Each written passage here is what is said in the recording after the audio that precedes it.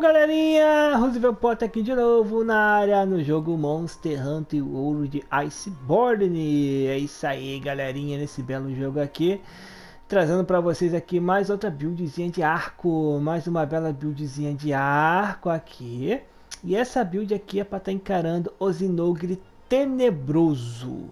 Né? Encaramos o Zinogre normal, agora vamos para o Zinogre Tenebroso. É isso aí, galerinha. Mas lembrando a vocês antes disso Antes de eu falar da build, eu mostrar vocês em encarando o Zinogre Tenebroso, não esqueçam da chinelada no joinha, viu galerinha?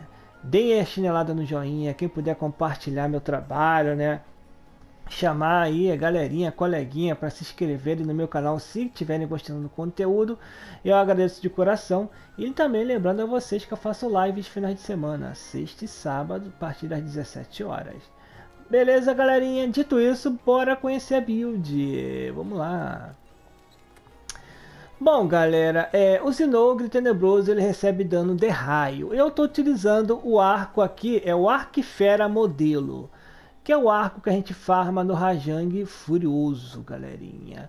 Eu não estou utilizando Safigiva, né? A maioria das minhas builds eu utilizo o arco da Safigiva. Esse aqui eu preferi utilizar o Arquifera Modelo, que é bem bacana. Por que, que eu estou utilizando o Arquifera Modelo? Pelo fato seguinte, galerinha, o ataque dele é maior, ele tem um maior ataque do que o da Safigiva, mesmo perdendo um pouco ali no elemento raio, né? Mas em compensação, ele também tem revestimento, ele usa bastante revestimento de poder, galerinha. A única coisa que ele não usa é sono. Então ele vai usar poder, paralisia, veneno, explosão. Já o da Safigiva não tem como utilizar. Então por isso que eu preferi está utilizando o Arquifera modelo, viu galerinha? Então nosso ataque é 360, afinidade 10%, elemento raio 430, é, os revestimentos de, de, de que, que, o arco utiliza é poder, paralisia, veneno, explosão, a média defesa é 1022, 0 água, 11, é, 0 fogo, 11 água, 9 raio, 3 gelo e menos 7 dragão, galerinha. O amuleto é o amuleto disparos normais nível 2, está aqui. Manto temporal e afinidade é o que eu utilizo.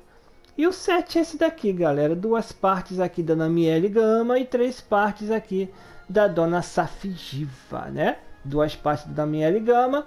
Temos ali atacando continuamente, aumento nosso dano elemental e três partes da Safigiva, aumento de elemento e também status anormais e afinidade com arma em punho, galerinha. Então vamos lá. Elmo temos aqui o surto de vigor nível 3, período de ferramenta nível 1, o engaste nível 4 nível 2, peitoral da safigiva beta mais, resistência fragela nível 1, reforço crítico nível 1, o engaste nível 4 nível 2, avambraço temos aqui resistência flagelo nível 1, o engaste nível 4, 2 níveis 2, aqui no cinturão da Dona Safigiva Beta mais, tempo de esquiva nível 2, o engaste nível 4 nível 1, e para fechar as perneiras da Damiere Gama Constituição nível 4, ataque de raio nível 2, que já é bem bacana, e engaste nível 4, galerinha. Belezinha, tá aqui o set que eu utilizo. Vamos agora para os adornos, galera. Aqui nos adornos, infelizmente, o Arquifera modelo, ele não vem com engastes, né?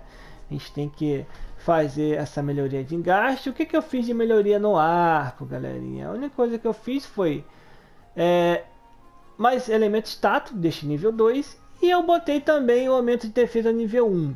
Né? Então o aumento de defesa está vindo ali só para né, ocupar aquele espaçozinho ali, mas a minha intenção é deixar mais por mais, é mais elementos status, galerinha. Vamos para os adornos agora. Nos adornos temos aqui no capuz vitalidade crítica, uma joia de salto, no peitoral biotipo e atenuadora, joia arco magnífico também. No avambraço, vitalidade crítica, uma atenuadora, mais uma joia arco magnífico que está errado, então vou ter que tirar. Eita, nós, tá com uma joia arco magnífica ali, hein? Pode. É, no cinturão, vitalidade atenuadora. No cinto, mais uma joia também de, de relâmpago. E para fechar, joia de relâmpago mais quatro, galera. E no manto, duas especialistas. Bom, essa joia de arco magnífico tá a mais, então vamos lá. As habilidades são daquele jeito, galerinha. Ataque de raio 5, Constituição 5, Reforço de vida 5. É, reforço crítico, explosão de fraqueza no invis 3. Surto de vigor 3. É, resistência flagelo 2. Disparo normal 2. Tempo de esquiva 2. Extensão de esquiva 1. Presa e ferramenta 1. Energizar mais o arco nível 1. E olho crítico 2 ali da joia de especialista. Já sei o que eu vou botar aqui, galerinha. Olha só. A gente pode deixar aqui para ficar bacaninha, né?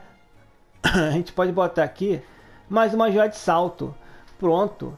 Temos tempo de, de esquiva 2 e extensão de esquiva níveis 2, galerinha. Pronto, fechou. Então botamos aqui uma joia de salto ali para ficar bem bacaninha. Então tá aqui, galerinha. Essa aqui é build, né? É... Vamos agora partir para o Zinogre Tenebroso. Bora lá, galerinha. Bora lá então. Vem comigo. E Zinogre Tenebroso está aqui em nosso caminho, nossa frente, né? À frente eu queria pegar uma pedrinha, mas acho que por aqui não tem, né? Por aqui não tem pedra. Alguma coisinha parecida, né? Queria uma... Ih, olha quem tá. Devil Joe também tá por na área. De novo, Devil Joe. Bom, vamos partir pra dentro, galera. Infelizmente não tem, vamos embora. Vamos tentar paralisar ele primeiro.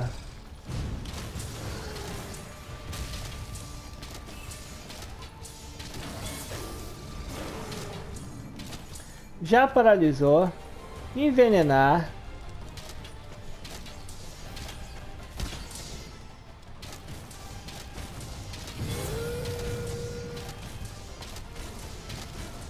Já tomou um veneninho. Agora...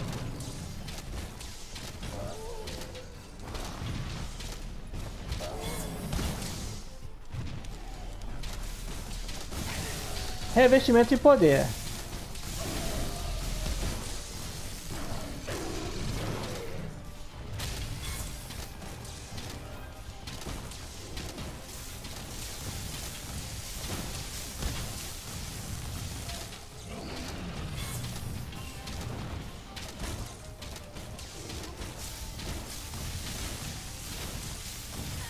Ah, pegou.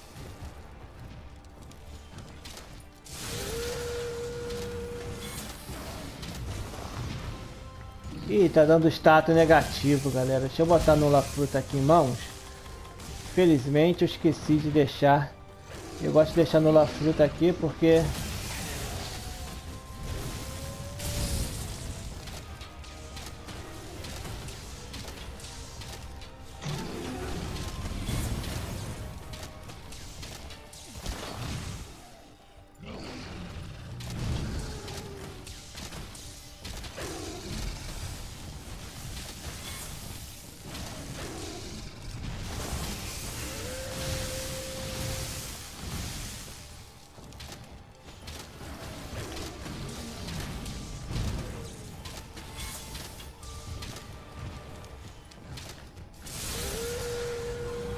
tudo bufado agora. Vem, bichão.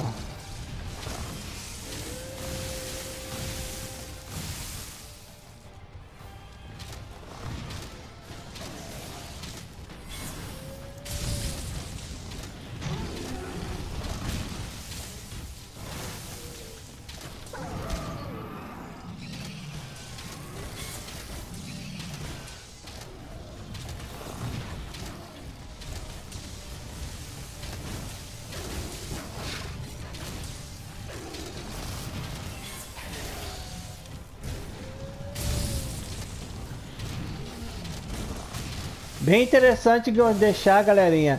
Extensão de esquiva, joia de salto contra os inogres, viu? Porque eles são bem chatos, eles sempre estão pulando. Estão bem chato, é bem chato. Nossa, o raio me pegou.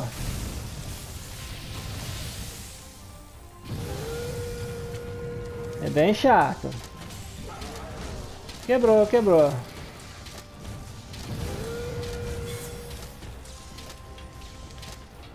É, até que o estátua normal de dragão não fica muito tempo, então eu pensei que demorasse mais tempo.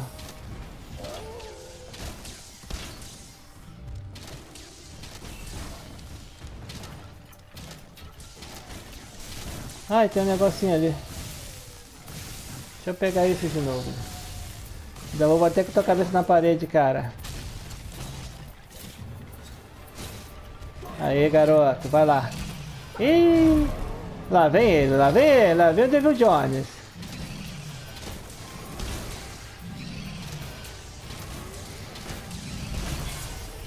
Ah, olha como é que ele já chega.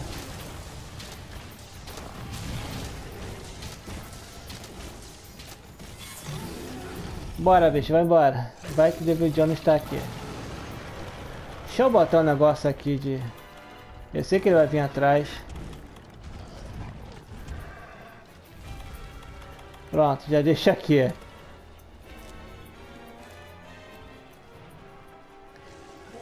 Eu acho que será que ele vem?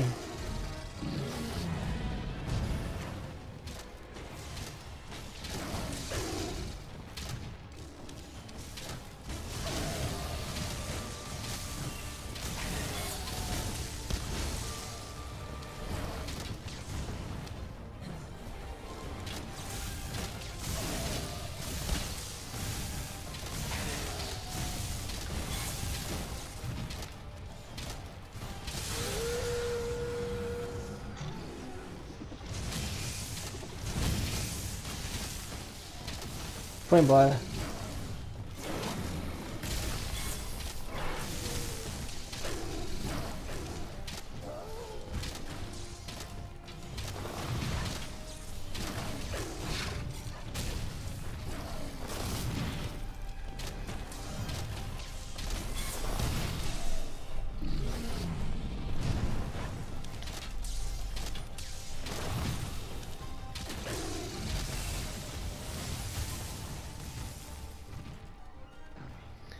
Bom, vou tentar usar isso aqui.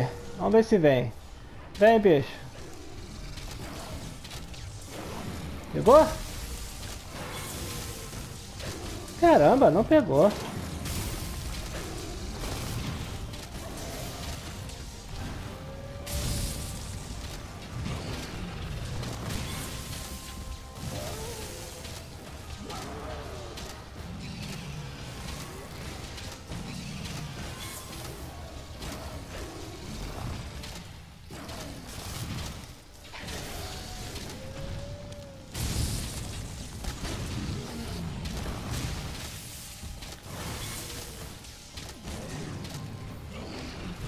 Tá sentindo bem, galerinha. Tá sentindo bem nossos ataques. Caiu aqui. Vamos sapecar ele.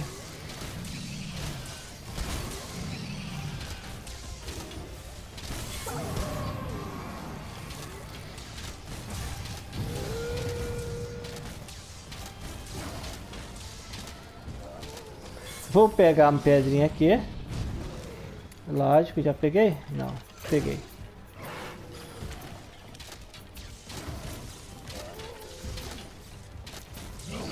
Quebramos os dois chifres.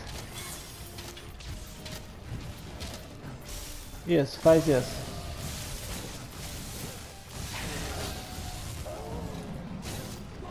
Será que vai? Eu acho que não, hein? Foi! Eu pensei que não fosse.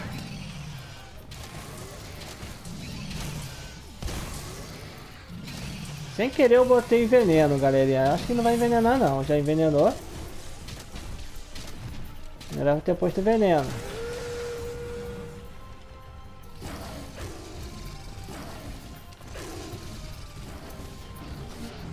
Oi? Que loucura. Ficou girando aqui? Como assim?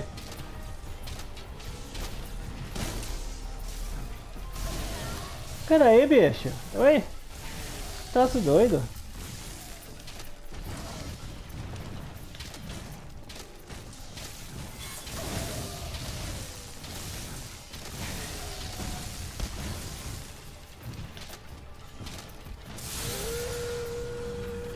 Show. Vai embora, é? Então vai. Aproveita e pego essa pedra. Bora, galerinha. A build tá funcionando aí de boa, hein? Tá legal, tá legal. Tá legal. Temos quanto de afinidade com arco em punho? 30% de afinidade, galerinha. Ah, que beleza. Bem bacana, né? De 10 aumentamos 20 com, com o 7 aí da Safigiva. Hum, será que vai? Ah, não. Grávidos. Também, Grávidos. Você. Vai embora, Grávidos. Tá, BR vai embora, meu filho, agora. Vai. Ô, oh, Gravenus. Tá difícil, cara. Fica aí, bicho. Não vai, não.